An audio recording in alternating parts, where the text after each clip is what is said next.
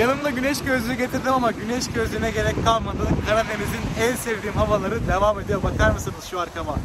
Şu denizin dalgalarına. Evet. Deniz de dalgalı dostlar ve bugün gerçekten aslında benim en sevdiğim havalar bu havalar. Karadeniz'de bu havalar yakışıyor. Geldiğim gün inanılmaz sıcak. Hatta bir ara dedim ki açık tenli olduğum için çok hızlı yanıyorum ve abartmıyorum hastaneye bile kaldırılabiliyorum bu sıcaklardan dolayı. Ama bugün hava çok güzel. O yüzden en güzel mevsim ve Karadeniz'in doğası, kokusu ve havası yeter dostlar. Fazla söze gerek yok görüyorsunuz. Şu Giresun'un güzelliğine bakın başka bir şey demiyorum.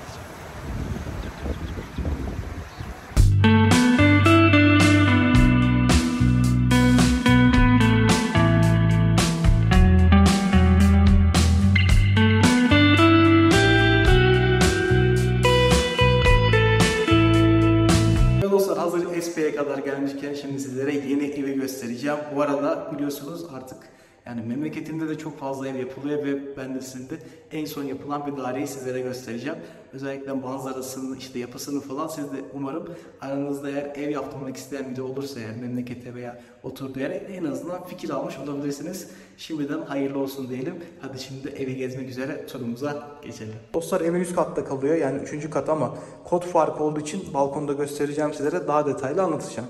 Şimdi burada bir girişimiz var. Hemen görmüş olduğunuz gibi dairemizin girişi. Sağ ayakla Bismillah diyerek girelim dostlar. Hayırlı uğurlu olsun şimdi kapımızı açalım ve direkt burada L1 koridor bizleri karşılıyor dostlar. Tabi şu an inşaat devam ettiği için yerlerde parke veya malzemelerini görmeniz gayet normal. Şimdi kapımızı kapatalım ben şimdi sizlere açıklayacağım. En azından fikir sahibi olabilirsiniz. Evet burada bir dış kapımızla içeri giriyoruz.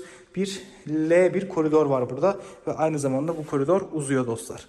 Tabi biliyorsunuz doğalgaz sistemi de artık Karadeniz bölgesine de geldi doğalgazlı evimiz. Şimdi burada bir salonla başlıyoruz. Görmüş olduğunuz gibi dostlar burada çift cepheli harika bir deniz manzarasına bakan bir salonumuz var. Ki az sonra şu balkonu inceleyeceğiz. Evet hemen bir girelim dostlar. Hemen aydınımızı attık sağ ayakla ve şöyle bir manzarayı gösteriyorum. Burası salon alanımız. Burada rahatlıkla yemek masasını, berjeri, koltuğunu, televizyon ünitenizi koyup artık aklınıza eğer fikir alınacaksa bilgi sahibi de olabilirsiniz. Çok güzel bir balkonumuz var dostlar. Direkt salondan balkona geçebiliyoruz ki en sevdiğim detay ve şu manzaraya bakar mısınız? şu manzaranın güzelliği fazla size gerek yok. Hemen alanı göstereyim. Balkon alanımız bu şekilde dostlar. Zeminde böyle bir malzeme kullanılmış ve direkt manzaramıza bakar mısınız? Bütün Giresun Espiye ayaklarınızın altında çarşı giderek uzuyor. Artık çok bloklar yapılmaya başlamış. Artık havuzlu bloklar yapılıyor. Zaten geçen de şu sitedeydim ve manzarası görüyorsunuz. Hemen altında fındık bahçeleri var ve o kadar güzel kokuyor ki yani ben İstanbul'da doğma büyümeliyim ve şu an ciğerlerim bayram ediyor. Yani bu koku falan havanın temizliği çok güzel. Umarım İstanbul'da da bu temiz hava olur. Aynen öyle yani başka bir şey söyleyemiyorum. Manzarayı da hemen zoomlayayım ve göstereyim size dostlar bakın. Şöyle bütün SV'yi görüyorsunuz. Bugün havada çok güzel şansımıza. Ben en sevdiğim hava. Hem sıcak ama güneş yok. Tam bir Karadeniz havası. Benim favori havalarımdır. Hatta zoom yapayım daha iyi görün. Bakın dostlar. Burası çarşının olduğu bölge. Merkezin olduğu kısım. Burası. Bu da işte direkt evimize paralel olan siteler. Ve burada bizim işte en sonki yaptırmış olduğumuz yapı. Böyle bir şey. Cephemizden manzaramız dostlar. Ve bakın görmüş olduğunuz gibi cephemizin manzarası da bu şekilde dostlar. Direkt burada da başka diğer arka tarafı görebiliyorsunuz. Buradan da dağ manzarasını izlememiz mümkün. Zaten bu sene de fındık da çok bolmuş. Aranızda eğer fındık toplamak isteyen de varsa gelip Giresun'da, Karadeniz'de veya Ordu bölgesinde fındık toplayabilir dostlar. Şimdi hadi gelin mutfağa geçelim. Mutfağı incelemekle başlayalım. Evet dostlar mutfağa baktığımız zaman kare bir mutfak var ve L1 mutfak karşılıyor bizleri. Dediğim gibi hala inşaat devam ettiği için bunlar çok normal görmeniz. Burada işte çekmecelerimizin olduğu kısımlar var. Görmüş olduğunuz kapaklarımız var. Burada L1 mutfak ve en güzel detay lavabonun olduğu yerde cam var ki bu da çok güzel bir detay. Direkt orman manzarasını görüyor. Bu da en azından anneler için falan bir numaralı çözüm falan diyebiliriz. Buzdolabının olduğu kısım, ankastrenin olduğu kısım ve mutfak alanında bu şekilde dostlar. Yani girdiğiniz zaman kare bir mutfak bizleri karşılıyor. Direkt zaten manzara memleket manzarası ve bu da masamızın ve sandalyemizin ve televizyonumuzun olduğu kısımda bu şekilde dostlar. Ve şimdi devam ediyoruz. Bu arada balkona iki yerden de çıkabiliyoruz. Hem mutfaktan hem salondan çıkış yapabiliyoruz. Ve dostlar direkt geldiğimiz yere geri döndük. Yani hem salonu hem mutfağı hem de burada da bir tane de boş odayı da görüyoruz dostlar. Burada aynı zamanda ev 3 artı 1 olduğu için dostlar burada bir alan bırakılmış. Yine orman manzarasına bakıyor. Görmüş olduğunuz gibi bu şekilde cephemizin manzarası da bu şekildeydi. Şimdi gelelim dostlar direkt diğer odalarımızı ve banyomuzu gezmeye. Burada salonda bir spot lambalar kullanılmış. Bunu da göstermek istiyorum. Direkt manzaramız eşindeki spot lambaları da görüyorsunuz. Taban hepsi montajlı bir şekilde duruyor. Şimdi dostlar burada bir Alaturka tuvaletimiz var. İsterseniz depo olarak da kullanabilirsiniz. Evde hiç oturulmadı. Sıfır. Sadece inşaat pisliği var. Onlar da temizlenecek işte. Yerleşim başladıktan sonra, yaşam başladıktan sonra. Burada bir banyomuz var. Buraya bir duşakabin gelecek dostlar.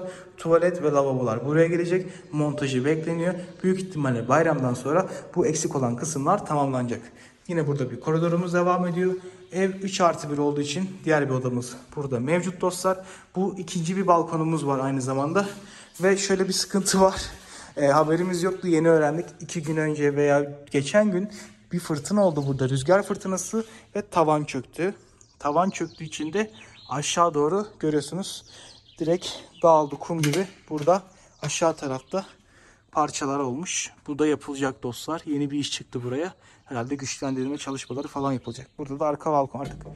Buradaki alanda görüyorsunuz dostlar. Zaten burada diğer evlerle bütünleşik bir şekilde manzara. Tabi etrafı komple fındık ağaçlarıyla kaplı dostlar.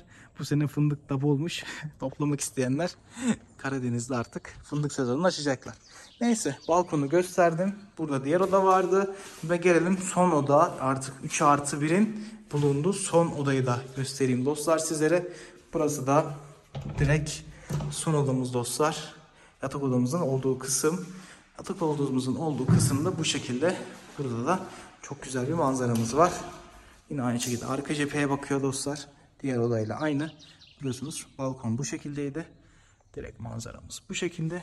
Ve şimdi kapatıyorum dostlar. Burada camlar yukarıdan da açılıyor. Tüm camlarda da bu sistem mevcut.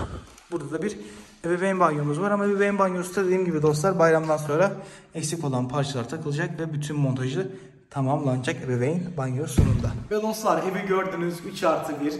Bütün Karadeniz manzarası ayaklarınız yani adeta bir kartpostal manzarası eşliğinde yani bu film ve karikatür derler ya aynı o şekilde dostlar direkt arka manzarası eşliğinde görüyorsunuz.